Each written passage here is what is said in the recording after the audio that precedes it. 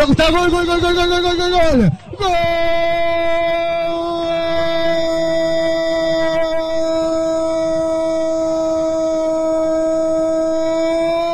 de Racing.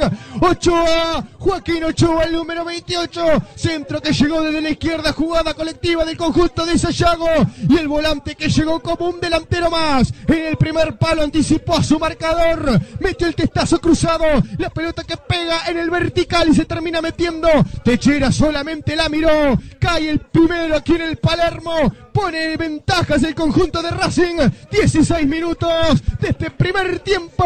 Joaquín Ochoa, Racing 1, Uruguay Montevideo 0. Gonzalo Rodríguez Santurio. El relato que viene desde el corazón del país. Y llega la apertura del conjunto de Racing en una jugada por el sector izquierdo, el centro al medio del área. Ahí apareció Ochoa en las alturas.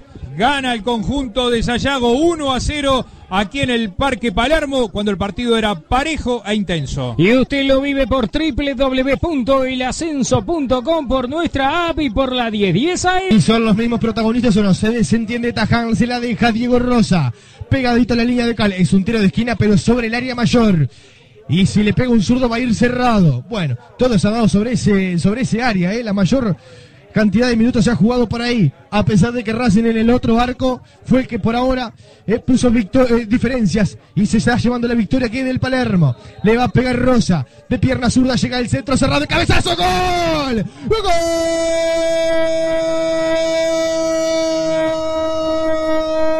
Tajana, gol.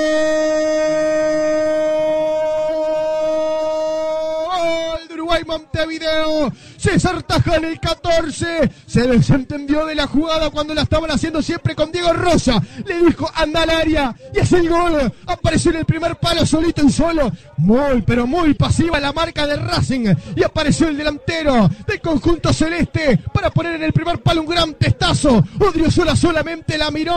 Cae la igualdad en el Palermo. César Taján dice que Uruguay, Montevideo y Racing igualan 1 a 1. Gonzalo Rodríguez Santurio el relator que viene desde el corazón del país. Y Uruguay Montevideo dijo, de esta manera me hicieron el gol, lo voy a hacer de la misma.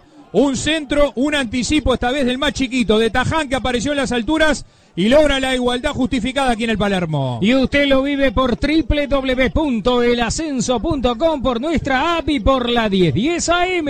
Y ahora es Férico que domina ahora, pero Lupi pierde allí con su marcador, recupera Fabricio Santos, juega hacia el sector medio donde está Taján, Taján más atrás ahora para Techera, que para el balón y va jugando en corto para el futbolista Maulela, demasiado exigido Maulela, llega de todas formas, va jugando para Paulini, Paulini que jugaba mal, el que anticipa y gana Fabián Pires, la pelota que le va quedando de los Santos, de los Santos que abre el sector derecho para Belón Lupi. Amaga y le pega el disparo al arco. Ahí está el disparo. Gol. Vera. Gol.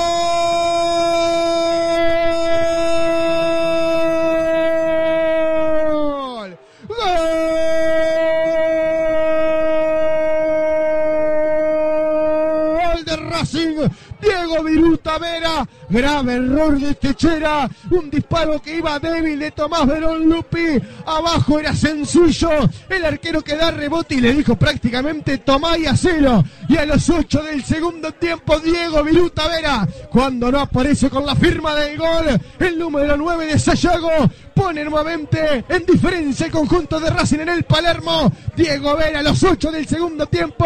Racing 2, Uruguay Montevideo 1. Gonzalo Rodríguez Santurio, el relator que viene desde el corazón del país. Lo decíamos en el primer tiempo, no había tenido una sola chance Diego Vera. No se le puede dejar un cachón como el que le dejó Techera. El disparo de Verón Lupi, el rechazo del arquero y ahí apareció con la caña de pescar. El Viruta Vera pone en ventaja Racing. Y usted lo vive por www.elascenso.com, por nuestra app y por la 1010 AM.